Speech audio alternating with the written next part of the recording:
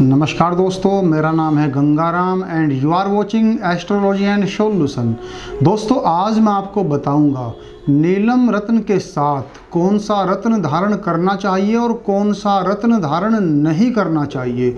दोस्तों, मान्यता है कि नीलम रंक को राजा और राजा को रंक बनाने की शक्ति अपने अंदर रखता है। नीलम इस दुनिया का बहुत ज़्यादा सेंसेटिव बहुत ज़्यादा संवेदनशील रत्न है। इसलिए नीलम के साथ क्या रत्न धारण करना है, क्या नहीं धारण करना है, इसका विचार करके ही आगे बढ़ना चाहिए। इससे पहले मैं आज का विषय शुरू करूँ, मैं आपको बता दूँ, यदि आप ज्योतिष के द्वारा अपनी किसी भी समस्या का समाधान चाहते हैं या आप राशि रत्न खरीदना चाहते हैं आप हमारे कार्यालय से संपर्क कर सकते हैं। हमारा फ़ोन नंबर, हमारा व्हाट्सअप नंबर डिस्क्रिप्शन में दे दिया गया है। दोस्तों, शुरू करते हैं आज का विषय।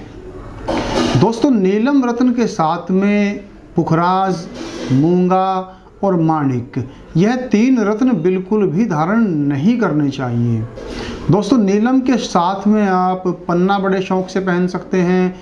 नीलम के साथ में आप डायमंड पहन सकते हैं।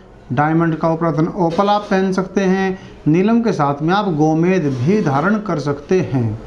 क्योंकि ग्रहों की आपस में शत्रुता भी है और आपस में मित्रता भी है। जो ग्रह आपस में विरोधाभासी हैं, जो ग्रह एक दूसरे से परम शत्रुता का भाव रखते हैं, उन ग्रहों का रत्न एक साथ धारण नहीं करना चाहिए। तो दोस्तों, यह थी नीलम रत्न के संबंध में एक छोटी सी जानकारी। आशा करता हूँ गंगाराम ज्योतिषी की बात आपको अच्छी लगी होगी। यदि आपको मेरी बात अच्छी लगी हो तो वीडियो को लाइक करें, शेयर करें, एंड सब्सक्राइब माय चैनल।